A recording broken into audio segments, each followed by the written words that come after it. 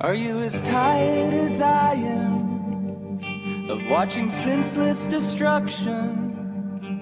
Watching repetitive wars do nothing but make fools of us. It's all just big business.